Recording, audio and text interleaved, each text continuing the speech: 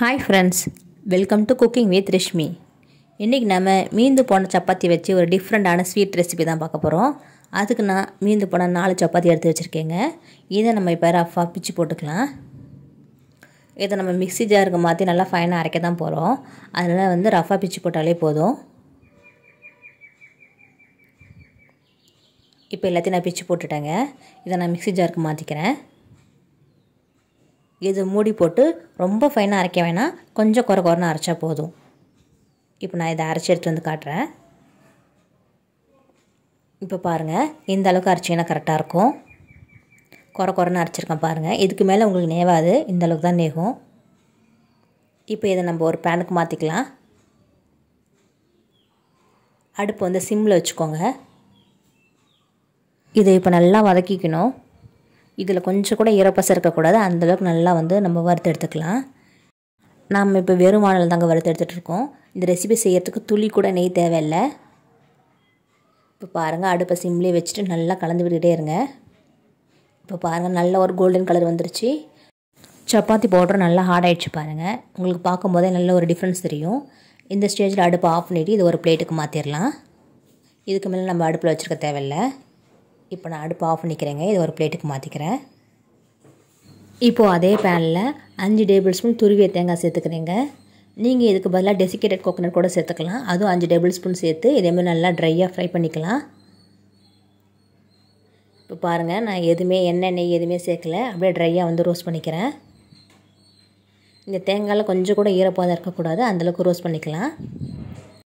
நான் சொல்கிற மெஷர்மெண்ட் எல்லாமே நாலு மீடியம் சைஸ் சப்பாத்திக்கு கரெக்டாக இருக்குங்க. இப்போ பாருங்கள் நல்ல ஒரு கோல்டன் கலர் வந்துருச்சு. தேங்காய் துருவில் இருக்க ஈரப்பந்தெல்லாம் ட்ரை ஆகிடுச்சு பாருங்கள் இந்த ஸ்டேஜில் நம்ம அடுப்பு ஆஃப் பண்ணிவிட்டு இதையும் நம்ம இப்போ பிளேட்டுக்கு மாற்றிடலாம் ஆல்ரெடி சப்பாத்தி போட்டு போட்டு வச்சுருக்க அதே பிளேட்டுக்கு இந்த தேங்காய் துருவலையும் மாற்றிக்கிறேன் இப்போ இதுவும் நல்லா ஆறிட்டுருக்கட்டும் இப்போது இதே பேனில் சின்ன கப்பால் ஒரு கப் சுகர் சேர்த்துக்கிறேன். டேபிள் ஸ்பூன் கணக்கில் பார்த்தீங்கன்னா அஞ்சு டேபிள் ஸ்பூன் சுகர் சேர்த்துக்கிறேன். இதை வந்து தண்ணி எதுவுமே சேர்க்காமல் அடுப்பை சிம்பிள் வச்சு நல்லா கலந்துக்கிட்டே இருங்க. நம்ம இப்போ இந்த சர்க்கரையை வந்து கேரமலைஸ் பண்ண போகிறோம் அதாவது சர்க்கரையை வந்து ஊற்க போகிறோம் இப்படி செய்கிறதுனால இந்த ஸ்வீட்டுக்கு நல்ல ஒரு கலர் கிடைக்கும் வாசனையும் கிடைக்கும். இப்போ பாருங்கள் கொஞ்சம் கொஞ்சமாக வந்து சுகர் உருக ஆரம்பிக்குது பாருங்கள் இது நல்ல ஒரு கோல்டன் கலர் வரணும். அந்த அளவுக்கு ஸ்லோ ஃப்ளேம்லேயே வச்சு நல்லா கலந்து விட்டுக்கலாம். இப்போ பார்த்தீங்கன்னா சர்க்கரை நல்லா கேரமலைஸ் ஆகிருக்கு இந்த ஸ்டேஜில் கால் லிட்டர் பால் சேர்த்துக்கிறேங்க. காய்ச்சின பால் தான் சேர்த்துக்கிறேன். நீங்கள் காய்ச்சின பால் காய்ச்சாத பால் எது வேணாலும் சேர்த்துக்கலாம். சேர்க்கும்போது அடுப்பை வந்து சிம்மில் வச்சுக்கோங்க. இப்போ நல்லா கலந்து விடுங்க. ஆரம்பத்தில் இந்த சுகர்லாம் கொஞ்சம் கெட்டி கெட்டியாக இருக்கும். நீங்கள் நல்லா கலந்து விட கலந்து விட இந்த பால் கூட இந்த சுகர் வந்து நல்லா வந்து சேர்ந்துடும் இப்போ பாருங்கள் எல்லாத்தையும் நல்லா மிக்ஸ் பண்ணி விட்டுட்டேன். பால் நல்லா இப்போ கொதிக்க ஆரம்பிக்கணும். இப்போ பாருங்கள் பாலும் நல்லா கொதிச்சிக்கிட்டு இருக்கு. இந்த ஸ்டேஜில் கால் டேபிள் ஸ்பூன் எலுமிச்சை சாறு சேர்த்துக்கலாம். கால் டேபிள் ஸ்பூன் மட்டும் சேர்த்துக்கோங்க அதுக்கு மேலே சேர்க்க வேணாம். நீங்கள் எலுமிச்சை சாருக்கு பதிலாக தயிர் கூட சேர்த்துக்கலாம். இதனால் வந்து பால் வந்து திரிய ஆரம்பிக்கும். திரிய ஆரம்பிக்கும் போதே நல்லா கலந்து விடுங்க. அப்போ தான் எல்லாம் ஒன்று போல் வரும். இப்போ பாருங்கள் இதை நல்லா நான் மிக்ஸ் பண்ணி விட்டுட்டேன். இப்போ அடுப்பை சிம்மில் வச்சுட்டு நம்ம ரெடி பண்ணி வச்சுருக்க கோதுமை பவுடரையும் தேங்காய் தூளையும் இது கூட சேர்த்துக்க வேண்டியதுதான். அடுப்பை நல்லா சிம்மில் வச்சுக்கோங்க. சிம்மில் வச்சுட்டு இந்த பவுடரை சேர்த்துக்கலாம். சேர்த்துட்டு கை விடாமல் நல்லா கலந்து விடுங்க. நல்லா மிக்ஸ் ஆகணும். இப்போ பாருங்கள் இதை நான் வந்து நல்லா மிக்ஸ் பண்ணிக்கிறேன். இந்த ஸ்வீட்டை நீங்கள் உங்கள் பிள்ளைகளுக்கோ இல்லை வந்து கெஸ்ட்டுக்கோ செஞ்சு கொடுத்தீங்கன்னா லெஃப்ட் ஓவர் சப்பாத்தியில் தான் இதை செஞ்சு கொடுத்தீங்கன்னு கண்டிப்பாக நம்பவே மாட்டாங்க. ஒரு மில்க் கேக்குன்னு தான் நினைப்பாங்க. அந்தளவுக்கு இதோட டேஸ்ட் ரொம்பவே சூப்பராக இருக்கும். இப்போ இது எல்லாத்தையும் நல்லா மிக்ஸ் பண்ணி விட்டாச்சு. கடைசியாக இதில் நாலு டேபிள் ஸ்பூன் சுகர் சேர்த்துக்கிறேன். இந்த சுகரை நம்ம கடைசியாக சேர்க்குறதுனால இந்த ஸ்வீட்டுக்கு ஒரு ஷைனி கோட்டிங் கிடைக்கும். இது கூடவே கால் டேபிள் ஸ்பூன் ஏலக்காய் தூளும் சேர்த்துக்கிறேன். இப்போ எல்லாத்தையும் சேர்த்து நல்லா மிக்ஸ் பண்ணி விட்டுக்கலாம். நீங்கள் ஒரு முறை இந்த ஸ்வீட்டு செஞ்சிங்கன்னா அடுத்தடுத்து சப்பாத்தி போடும்போது கண்டிப்பாக மீதம் இருக்கிற மாதிரி தான் போடுவீங்க. அந்தளவுக்கு இந்த ஸ்வீட் ரெசிபி சூப்பராக இருக்கும். இதுக்கு நம்ம துள்ளி கூட எண்ணெயோ நெய்யோ சேர்க்கலை. இப்போ பாருங்கள் இது எல்லாத்தையும் நல்லா நான் மிக்ஸ் பண்ணி விட்டுட்டேன். இந்த ஸ்டேஜில் அடுப்பு ஆஃப் பண்ணிவிட்டு இதை சூடாக இருக்கும் போதே ஒரு பிளேட்டுக்கு மாற்றிடலாம் இப்போ நான் அடுப்பு ஆஃப் பண்ணிக்கிட்டேன்.